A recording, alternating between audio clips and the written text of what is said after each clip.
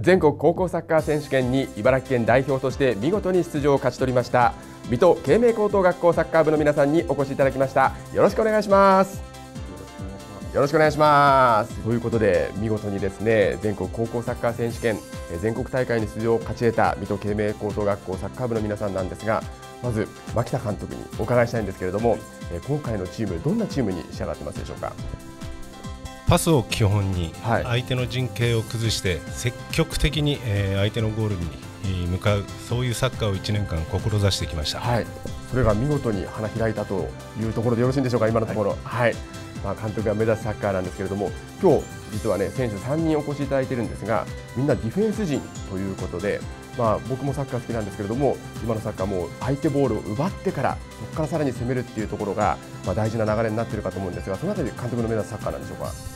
そうですね、はい、あのまず、えー、ディフェンスだけをしていればいいということではなくて、はい、えー、奪った瞬間からもうすでに、えー、攻撃に切り替わるとい。うスピーディーなサッカーが今、世界の主流だと思ってます、ね、はい、はい、それを、まあ、担ってくるこの選手たちがまあ、どうなんですか、監督の中では今のところ見事に成し遂げている、まだまだどうだ、どのあたりはどうなんでしょうね。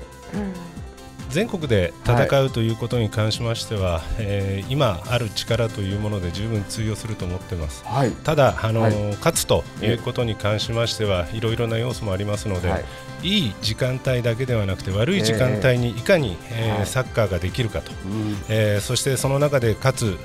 チャンスを見つけ出せるかと。いうことが、えー、できて、えー、難しい壁というものを超えていけるんではないかというふうに思ってます。なるほど、まあ、牧田監督のこうした厳しい指導を受けて見事にこの成長した、えー、全国大会を勝ち取った、えー、選手の皆さんにちょっとお話を伺っていきたいと思うんですがまずはキャプテンの相澤亮君。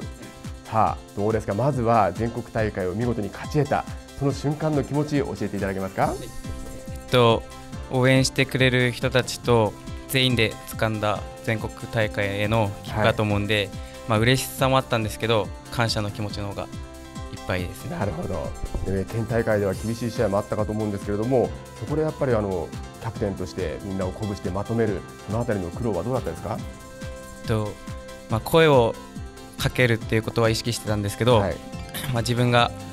まとめるというよりはみんながついてきてくれた感じですね。そうなんですね、まあ、みんなの力があって、えー、見事に勝ち得たというその実感をキャプテンが今持っているということですね。はい。さあそして、えー、副キャプテンの川添隆君。はい。今も全国大会に向けて練習熱入っていると思うんですが、まあ、どんな目的意識それから目標を持って今練習に励んでるんでしょうか、はい、国立を目指してみんなで新しい投資を燃やして日々練習に励んでいます、えそうなんですね。阿部裕太君に伺いたいんですが今チームの雰囲気ってどんな風になってます？はい、えー、残り少ない今のメンバーでできる時間をみんな大切にして仲良く楽しくやってます、ね、もう本当に間もなく大会が迫っている中でさあそしてやっぱりみんなが一つ一丸となって乗り越えていくためのこの水戸慶明高校サッカー部のスローガンとかってあるんですか？今年のメンバーのスローガンは、はい、アグレッシブフットボールというのをスローガンにしてやってきました、もうやっぱり監督がねさっきからおっしゃってる通りでもうじゃあもう特に90分間走り続けてる間アグレッシブアグレッシブって いうことをみんなの中で心がけてやってるってことですよね。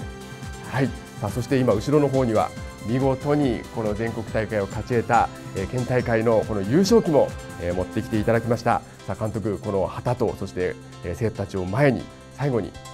えー、全国大会に向けての目標、意気込みを改めてお願いいたします。えー、今年度で、えー、国立競技場が、えーまあ、最終章というような形で、ねはい、えー、そこに立てるチャンスを、はい、得ましたので、はい、えー、ベスト4以上を目標に、はい、えー、ぜひ国立のピッチに立って、はい、えー、茨城のまた慶明の、はい、ここにありということで、えー、頑張ってまいりたいというふうに思っております。ありがとうございます。え今日は全国高等学校サッカー選手権大会に茨城県代表として出場を勝ち取りました水戸慶明高等学校サッカー部の皆さんにお越しいただきました。ありがとうございました。ありがとうございました。頑張ってください